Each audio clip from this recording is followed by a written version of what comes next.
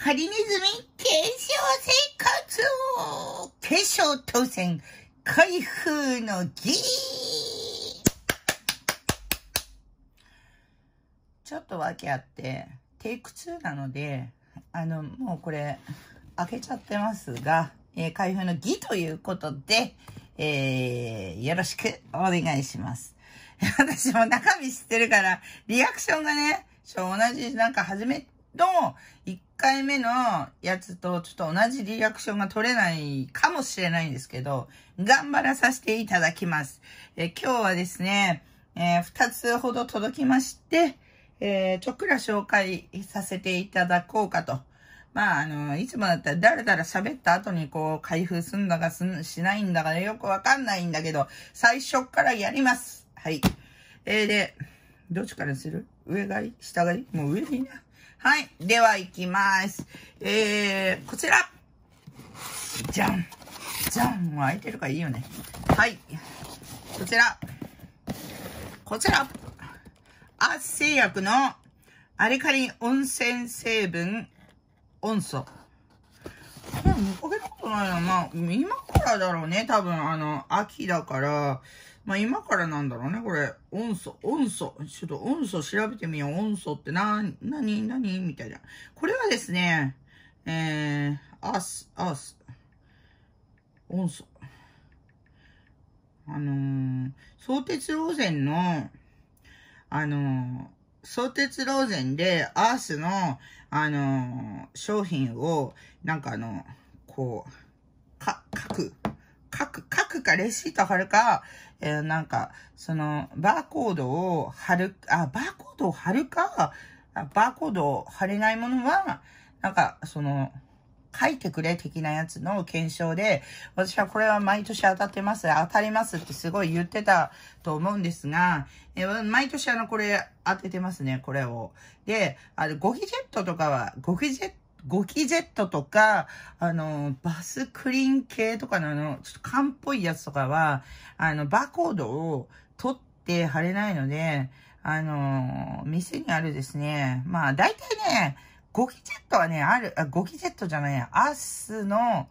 アース、アースジェット？アースジェットは絶対ある。で、まあその定番商品を、の番号をちょっと控えて、その番号書いて、え当選したっていうやつですね。で、確かね、A 賞と B 賞とかがあって、で、こっちの、あの、アースの、この入浴剤の方を選択すると、まあ、入浴剤の方を選択いつもしてるんですけど、他の、あの、商品券とかの方を選択してないので、ちょっとあの、他がどうなのかわかんないですけど、毎年これいただいてるっていう感じ。漏れなく、あの、いただいてるっていう感じですね。うん。で、こちら、胎児の香り、アース。胎児の香り、アース入浴剤。うん、これです。今、便利ですね、これ。アルカリの湯のまろやかさが味わえる本格志向の方におすすめの入浴剤。私、入浴剤むちゃくちゃ、あのー好きなタイプなので、結構入浴剤をですね、いろいろ毎日手を変え品を変えいろいろやってて、一番お気に入りなのは、あのアースの、あれですね、キキ湯キキ湯の、あの赤いやつ？キキ湯とかもちょっとね、バリエーションバーっと揃えたいんだけど、お風呂のものって、なんかちょっと不調になるね、容器が。あのーミルボンの、シャンプーはミルボンのオージア使ってるんですけれども、ミルボンのオージアとかもそう、それで、あれ高いから容器とか、ね、ちょっと次、こう結局、こう、なんていうのかね、エコ、エコな次、継ぐやつを買おうとしても、結局使い終わる頃までには、いい感じに容器がきあの汚くなっているから、新しいの買わないと、みたいな感じで、あのね、気球よりはもう小分けになってる方が、私は後腐れなくていいんじゃないかなと思うんですね。なんかそう、このパッケージもなんかすごくなんかあの、すごいなんかいい感じのやつなんだよね。で、うん、まあ、あとクナイプとか好きなんだけど、クナイプは高いでございますね。クナイプのラベンダーとかね、結構好きなんだけど、高いんだね。で置いとくとさ、うちの場合さ、なんかもう、あの、気がつくとなくなってるっていう、そういうなんか不思議な現象が起こるね、家なんでね。ほんとなんかね、自分とか、なんかこう、自分だったら、とか、大人だったらそういうことしないでしょうみたいなことを平気でするやつがいるんですよ、なんかね。あの、あと私が今、重曹を、あの、置いといたら、なんか重曹どんどん減っていくんだよ、不思議なことに。なんか、どう、何を使ってんだろうみたいな。ただね、うちの、あのー、あいつはねですね、まあ、ちびのすけってやつなんですけど、あいつはあの、ちょっと、あのー、ちょっとね、変、私がちょっと、あの、ちょ、ちょっとね、なんか、あのおば、おばあちゃんみたいな人の、YouTube を聞いてるせいでですね、重曹シャンプーがとかね、なんとか石鹸がとかね、そういうのに影響されて、それで勝手に重曹を使って、頭に振りまいてんかな。よくわかんないんで、最近ほら、風呂とか一緒に入らないで、あ別々なんで、何をやらかしてんだかよくわかんないんだよ。重曹、まあでも、なんかね、重曹シャンプーとか言ってるから健康志向のマックス系の人は、なんか、シャンプーとか重曹らしいですよ。重曹だけで、そのなんか、あの、なんか、なんか、なんか、もう、すごいなんか、重、重曹でどうやってやんのみたいな。でもなんか、うん、炭酸シャン、炭酸泉シャンプーとかよく美容院のあれとかに書いてあるから、そのおばあちゃん美容師なんで、なんかいいのかなとか思いながら、うん、なんかそういうのを私が聞いてるのを聞き耳立てて聞いてるから、あ、実際だ。俺もやらねえととか思ってるんだからね、余計なことするとマジハゲっからやめとけよ、みたいな。で、それでなんかテイク2ですわ。まあ、いろいろある理由わかるっしょななんとなく何が起こって私がテイク2なんだな、みたいな。で、本当に、本当にね、こんな調子で、なんで、緊急事態宣言が30日までになっちゃったもんですからね。だから、時間なんか作れないんですよ。もう、なんか、向こうはテレワークみたいな感じで、あのー、元気満々でさ、あれかもしれない。こっち疲れとさ、で、集中する時間がないから、夜中の10ずっとこう、やって、みたいな感じでね、やってるから、体力差もあるのに、労働時間が私の方が長くなるっていう、なんだろうな、これね、ちょっと本当なんかオンラインなんちゃらとかもいいかもしれないですけど、あの、子供いない場所とか、場の雰囲気とか、場のオーラとか、やっぱやる気が出る出ないとかって、ぱあると思うんだよね。なんか、特にあの、まあ今受験生とか予備校生とかでオンライン授業とかやって、うわ頭の中に集中できる人と、そこの場所に行ってスイッチが入る人と、私はその場の雰囲気とか、場の空気とか、臨場感が大事なタイプなんで、感性で生きてるタイプだから、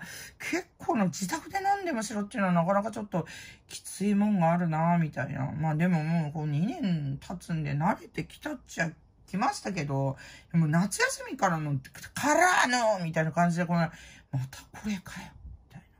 な。なんとかしてほしいもんですね。はい。ということで、これは、はい、相鉄ローゼンアース、白減アーストイアップキャンペーン、景品発送のご案内。小難しいことが書いてんな。さて、この度は小鉄ローゼンにご応募いただきありがとうございます。これはね、ちょっと本当に、あのーなんていうのかな、検証ってね、同じよ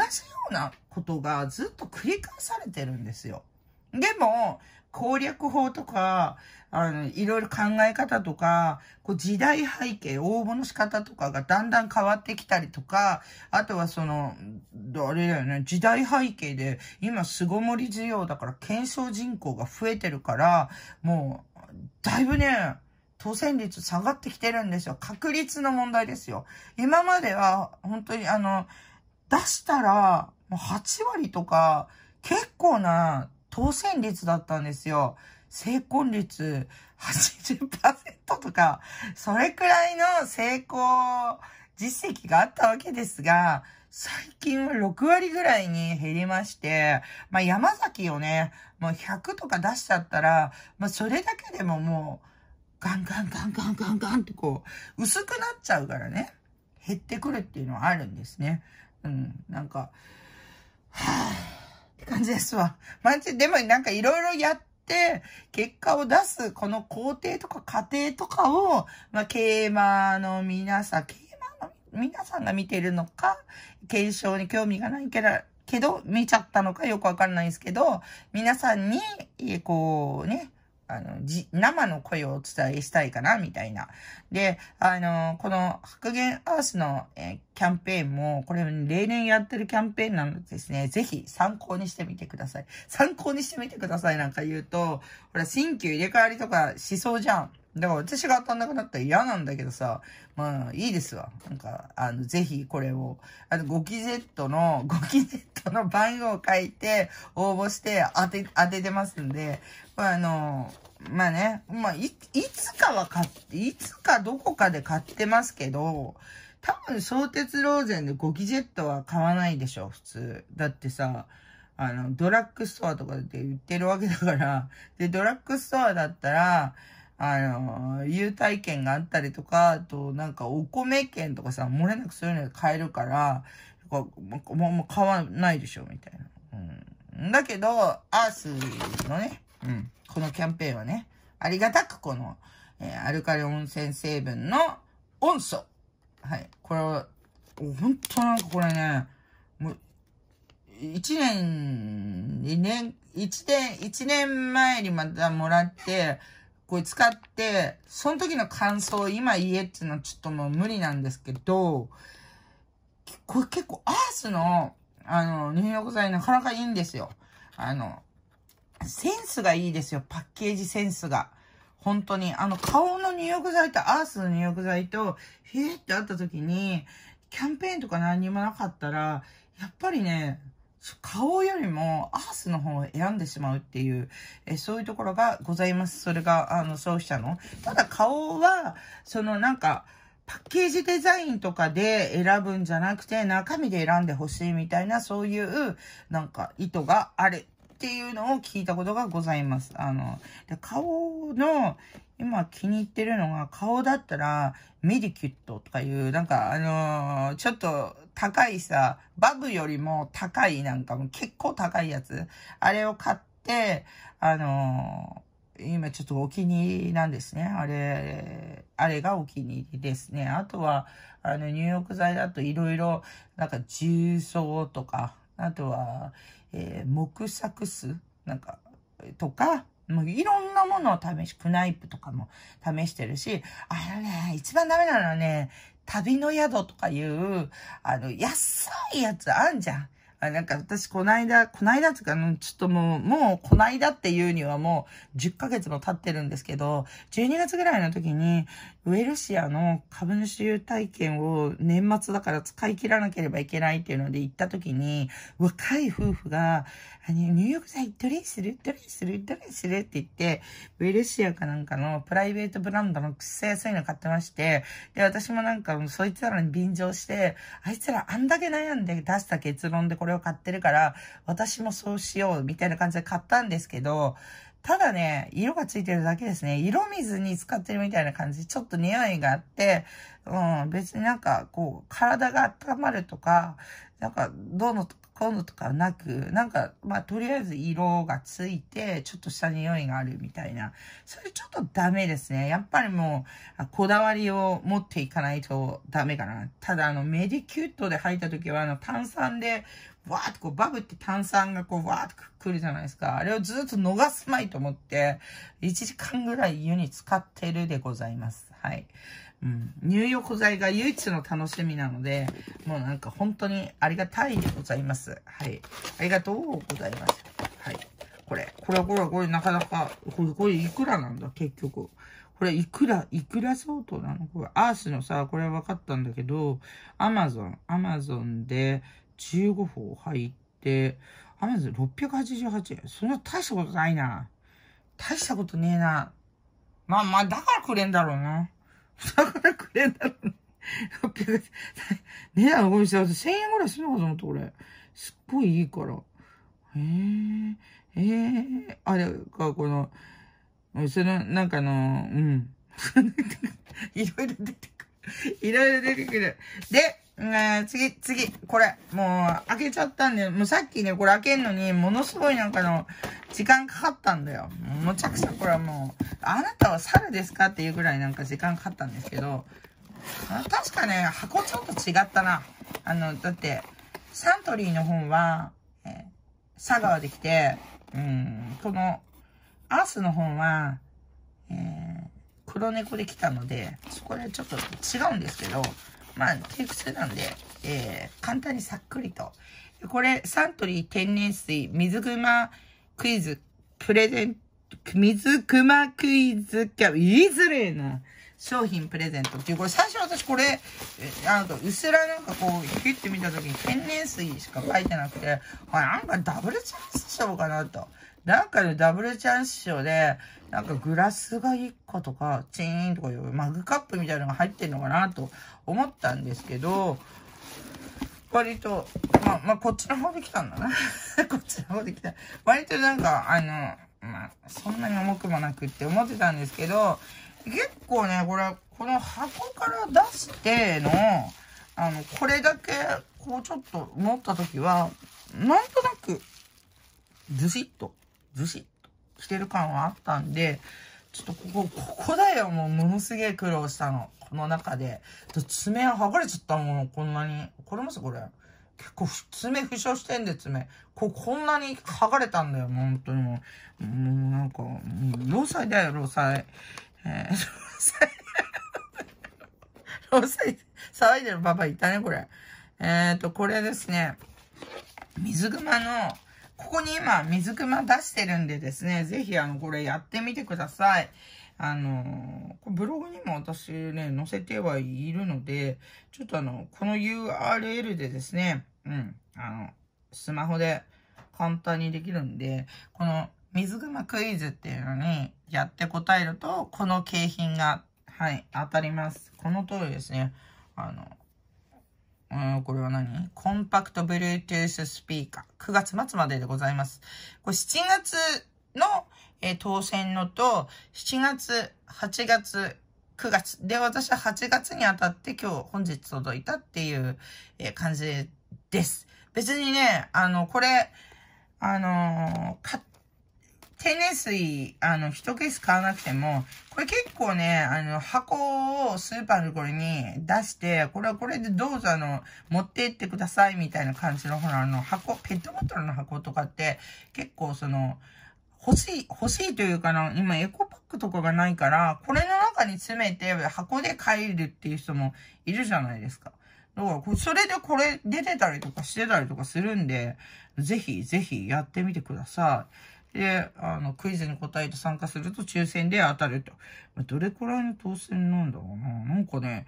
あの、1個当たったらもうできないんですよ。1個当たったらできない。あの、LINE のアカウントでやるんで、LINE のアカウントで1個当たると、あなたはもう当たったねって、当選済みのアカウントですねってこう言われて、で、あの、他のアカウントとかで、うん、やってはいるんですけど、全く当たんないね。本当にな、コカ・コーラのあやたか状態。もうやるのが嫌になってきて、あの、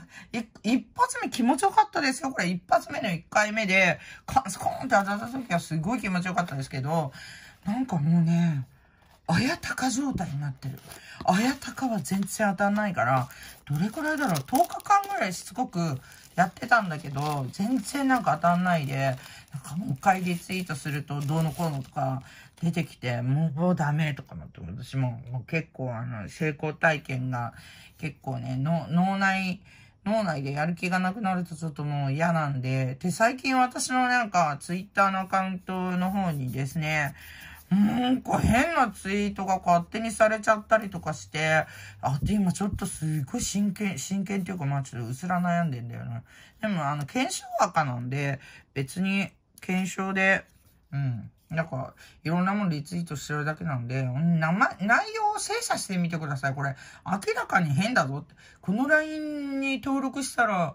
あの、金がもらえたとかさ、あとなんか性欲満々、ノードコーノとかさ、すげえ変なの勝手にツイートさしてるんだけど、それ私じゃないから。で、それ、そこら辺は信じてください。はい。一応、一応、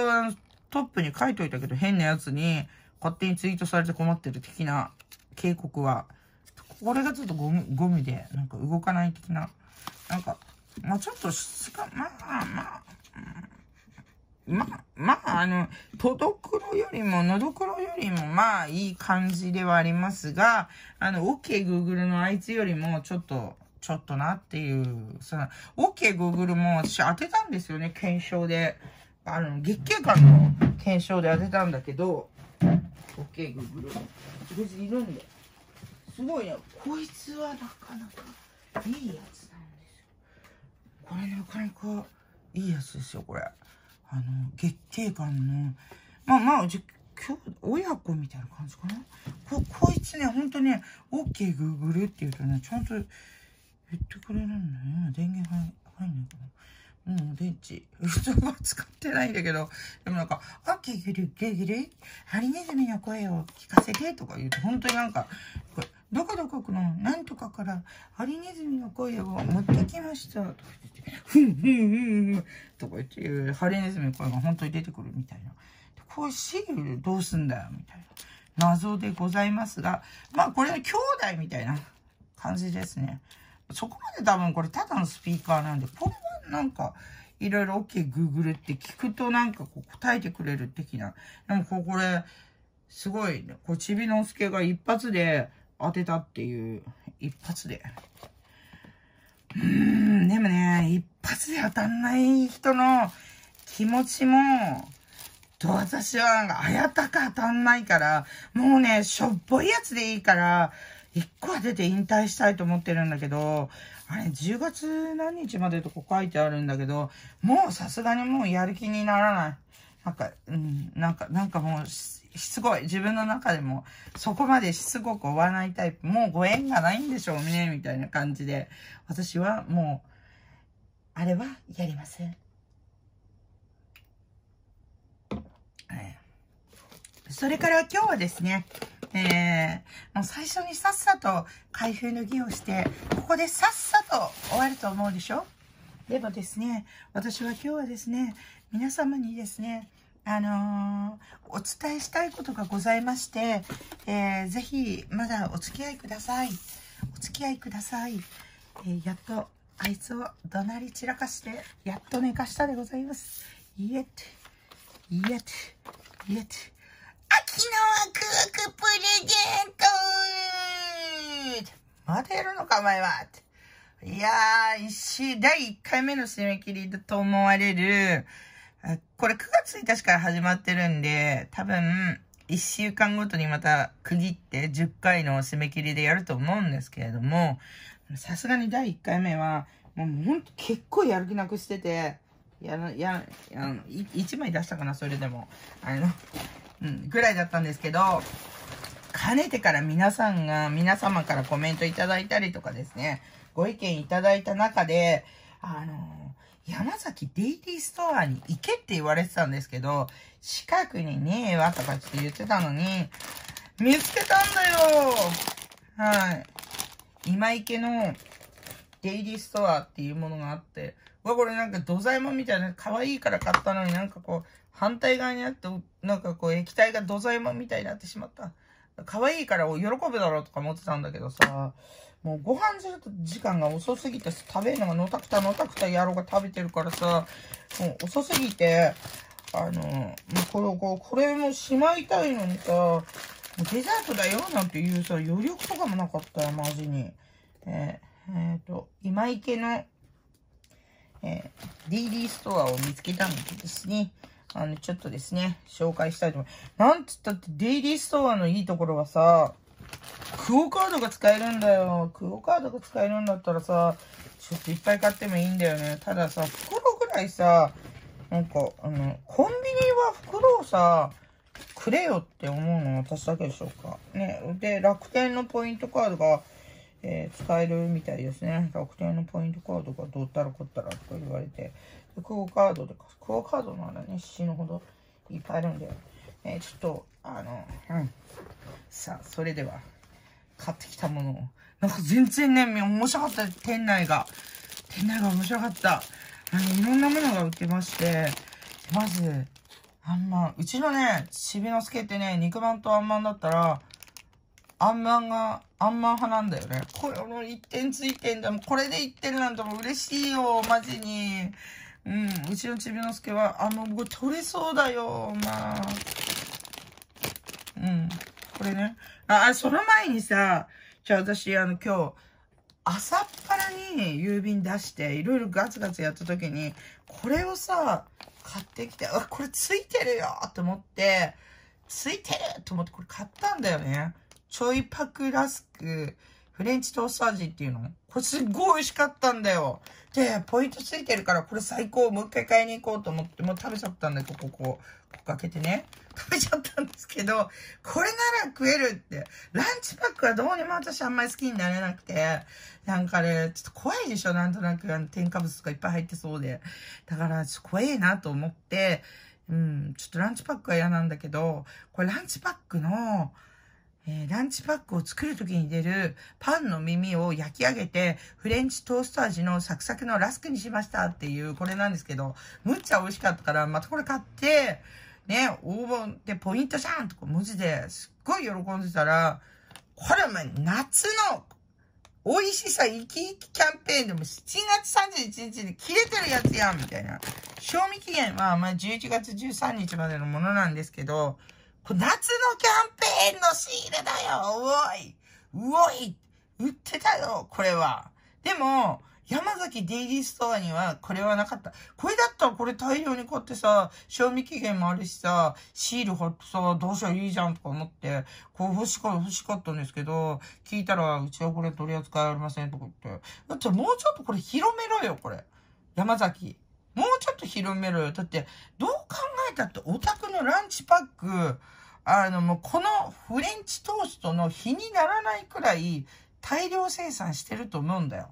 パンの耳から美味しく誕生。こっちの方をいっぱい出せよ、みたいな。これ1点っていうことはだいたい100円ぐらいの1点なんですよ。200円ぐらいなら2点なんですよ。で、300円ぐらいは3点なんですね。うん。で、あとはね、これ、こういうの、こんなのもあったよ。北海道産牛乳のプチシュークリーム。山崎っていっぱいいろいろ商品あんだよね。デイリーストアに行くといいですよ。弁当とか、その甘いもの嫌いだって言ってるから、甘いもんじゃないものにもあるし、いろんなバリエーションでありますとかって、あの、コメントいただいたんですけど、あの、デイリーストアがねえんだよとかって言ってた俺にはデイリーストアあったから、ちょっとすごい嬉しかったです。これなんかさ、高えこれ275円で2点かよ。率悪いな、これ。でも、とりあえず、うちのチビこういうの好きなんだから、とりあえず買った。買ってみた。これ2点だぜ。だから、ここにね、まあ、はがきを出したのは、これを、これ、このシール式なのはいいんだよ、これは。あ、これ9月11日だからむっちゃ持たないじゃん、これね。さっさと食べろっていう。こうここに、ここにね、これ貼って、私今回は、これ、これ狙いですよ。これこっちいらん、いらん。あの、ホ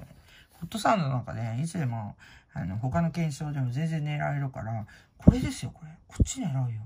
こっちみんなもう、もう、もう、嫌気がさして多分ね、第1回目は、もうなんか前回の、あれで、もう嫌になってる人が、多分離脱してると思うんだよね。だから、あの、この、1回目は狙い目だったかもしんない。俺 も絶対嫌だとか思ったもん。だって、切手代の無駄でしょ？みたいな。なんかそれが広く浸透しそうな気がするんですけど、でもなんか、うん。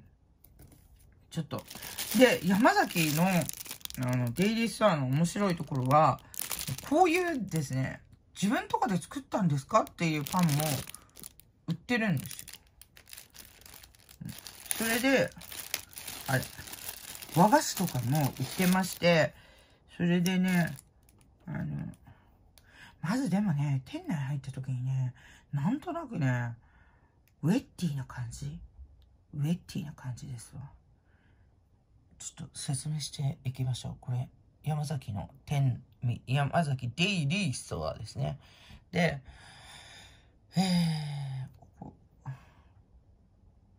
ちょっと、ちょっと、山崎デイリーストアで、これです、これ。もうね、感動しましたよ、これ。ほとんどパンのコーナーに山崎しか置いてなくて。で、あのー、このさ、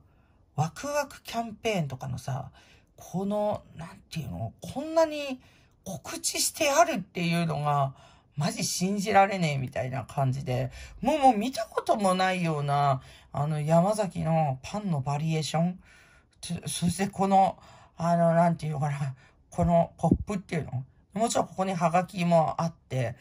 コンビニなのにこう、まあでも、夜だったんで、棚スカスカなんですけど、コンビニなのにここまで山崎推しっていうのはなかなか、あのね、面白いじゃないですか。で、こう、こんな、ポップとかもこんな感じですよ。で、こう、和菓子もあって、これ、これ、これ、わかります？ここにポイントがついてるの、これ。串団子で、で、うちのちびのすけこれ買って食ったんですけど、買って食ったんですけど、100円なんで、こう90円とか100円とかで売ってるんですよ。この串団子みたいなやつ。で、あんま美味しくなかったみたいですね。二度と欲しいとは言わなかった。でも、団子とか、このなんか、これ何？安納芋あん巻きとか、これ何？これシル、シベリアとかいう、マロン風味シベリア、バナナ風味シベリア。こう、こう、こう、この、何このシベリアっていうこのタイトル。シベリア抑留の、あのシベリアなのかなロシアの。あのシベリア。シベリアで、毎月3、4、5は、みたらし団子の日とかいう。なんかすごいね、団子とか、和菓子とか、もう山崎のがございましてですね。うん。あとは、まあ、棚いっぱいに山崎っていうのも、ちょっと結構ビビりまして、えー、棚いっぱいに山崎もビビって、シールがいっぱい貼って、もう、もうこ、こういう、こんなんでいっぱい。で、つい私、これ貼ってねえシール。お、え、私買ってきたら大丈夫か？大丈夫か？これたまに貼ってないのあるよね。怖えよ。ちょんちょん貼ってある貼ってある。山崎のカステラはね、そうだよ、マジいんだよ。マジって言ったら、あ、そうだ。文明堂のカステラとか、福瀬屋のカステラとかとは気にならないくらい山崎のカステラは、マジいんだよ。食ってきちゃったよ。でもこれは、えー、やっぱり、あの、500、あの、安いやつ、66円とかは0.5とか、ポイントが、全部ポイントが貼ってあるんだよ。すげえよ、これ。うーん、ね。これ、大量にさ、シール出品してた人ってさ、山崎のこれ関係者なのかな？山崎デイリースターの関係者なのかな？それしか考えらんねえんだけど。あと、なんか、お菓子とかも、山崎ビスケットとか、山崎ありきなんだよ。これ見たことないよ。この、プラ、プライムサンドとか、ここんなになんかいっぱい見たことがない。山崎のお菓子。えー、こ、こういう、なんかほら、ね、チップスターのこんな味私知らねえよみたいな。なんかね、ちょっと、衝撃を受けました。あとね、ドラ焼きとかも売ってんですけど、このドラ焼きは嫌だろうみたいな。これな、なんか、これなんかラップに包んでるドラ焼きなんですけど、こう、これなんか、お手製のドラ焼きみたいな、な、なんかちょっとな、なんかちょっと嫌な感じなんだ。工場で作ったドラ焼きじゃなくて、なんか、なんか、あの、ラップに包んでるドラ焼きが売ってましたね。で、こう、この、なんか、なんかとにかくいっぱい和菓子もあって、そう和菓子にもポイントがついてて、一番ビビったのが、感動したのが、これね、弁当にもついているっていう、弁当についてましたよ、これ。なんかもう全然弁当のバリエーションとか、あの、そ、そんなすごいあれではなかったんですけど、なんか、ええー、みたいな、あとなんか、こ、ここら辺は多分ね、手作り系のパンだと思うんですよ。これだ、どう考えたら自分で作ってんべ、みたいな。コロッケ揚げて入れて、売ってんじゃねえのみたいなパン。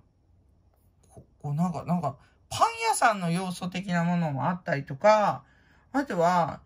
あの、こ、これ、これ、もう高級山崎も売ってましたよ、これ。なんかね、あの、高級な山パンもあるんですよ。でもこれにはね、ポイントついてなかったですね。これ、あの、高級な山崎なので、1200円ぐらいするのかな。食パンが1斤あの、1斤って言っても、まあ、なんだろう、普通の、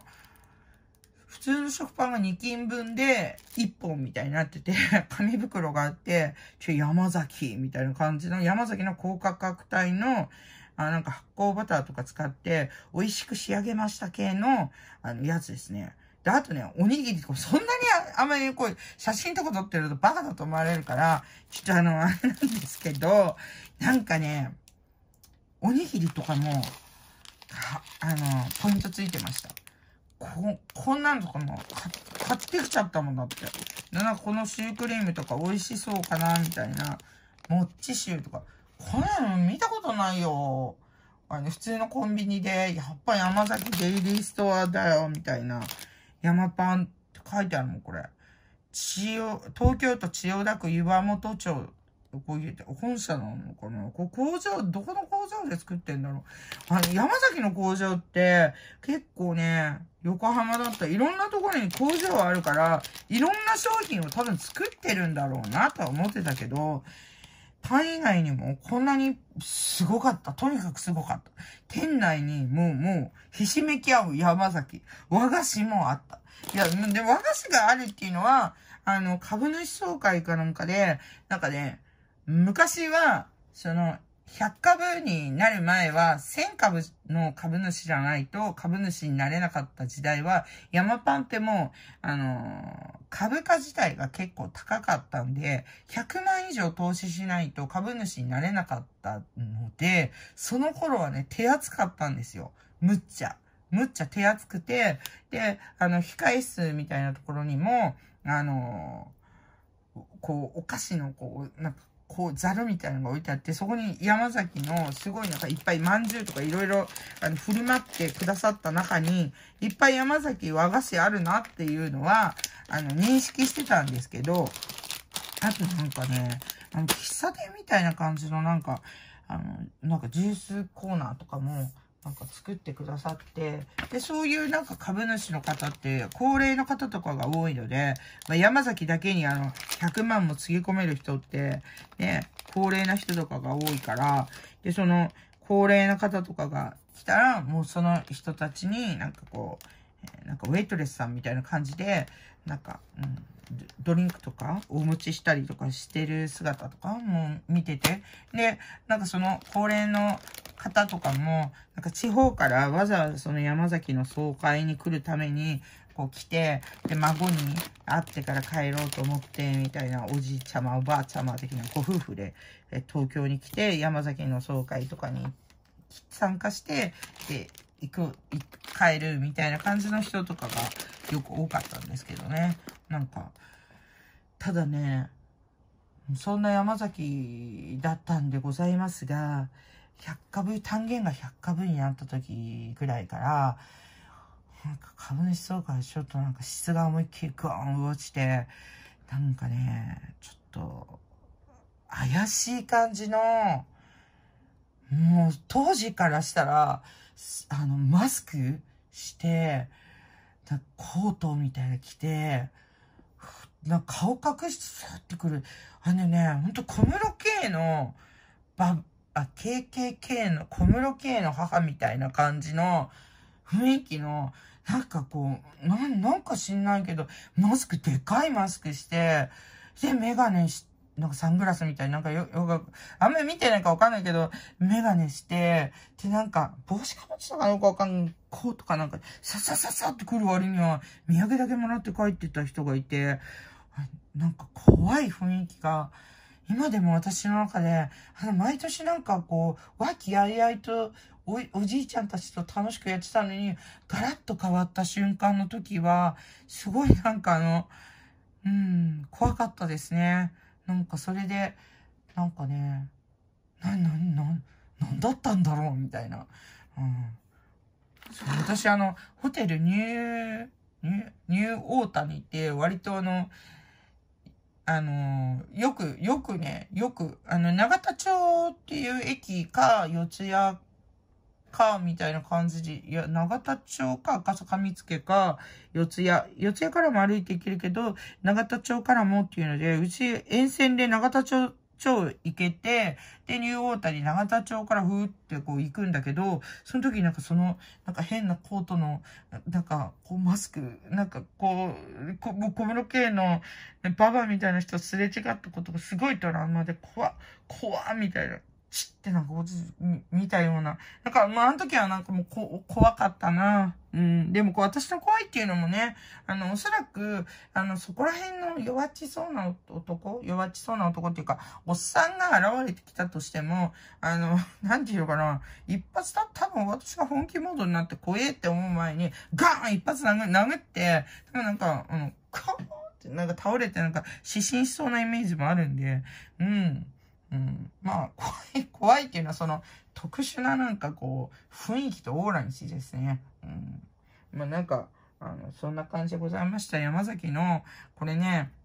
でも結局こんなにいっぱい買ったとか言って言っても、まあ合計1200円ぐらいかな、買って。1200円ぐらいだからそんななんか、集まってね、なんか、やべえな。うん。あ、あ、全部貼ってみたら、3枚貼れた。なので、ちょっとこれを今週、こう、ちょっと書いて出そうかなと思ってます。これ、これ3人、ちょ、3人の名前でですね、そうだな、どうしようかな。ねうん、今週、今週だから何日 ?9 月の10日の段階で、何回締め切りなんだろう。3回目の検証なるのかなそうね、やっぱり高子で勝負するな。1枚が高子。2枚がれどうしようかな。うん、てっちゃん。で、あと、あとどうしようかな、あと一人。まさゆきだな。やっぱりな、まさゆきしかねえよ。たかこ、てっちゃん、まさゆきでこう、三人でこう攻めてみよう。まさゆきしかいないんだよ。思いつかないんだよ、他に。これはすごいなんか、あ、これあれか。末広製菓って書いてある。これじゃコンビニでね、コンビニの角っちょのところにこれね、これ、これ、これ私見かけたのローソンでした。あの、朝、検証はがきを出しに行くときに、管轄違いの郵便局にもう今日しか時間なかったから、あの、金曜日にこう出そうっていうので、1日でいっぱいの検証のはがきを出そうとするときは、あの、管轄、郵便局の所轄っていうのかな？管轄を変えた方がいいので、あの、その関係で、ここまで来たら管轄変わるけど、そこの郵便局まで行くのがめんどくせえから、ローソンの店内の、えー、ポストの中にっていう感じで投函するときに、それでなんかね、ポストだけの用事なのに、それだけで行くの申し訳ないかなと思って、あの、うんなんか買うもんないみたいな感じで知って目についたのが、このちょい、えー、ちょいパクラスク。うん、結構美味しかったです。これ、もう一回、もう一回買いたいっていう時にはなかなか会えないっていう。最初なんか食べる、食べる、食べて、このポイントの時にすごいなんかもうムカついたんですけど、こ夏の美味しさ生き生きは結構ムカついてるんですけど、でも、でもね、うん、まあ、でもまあすぐ、嫌なことはすぐ忘れるんだ。その方がいい、いいさ。このこのポイントももう使えないからさ。応募期限以降は点数シールは使えませんって書いてある。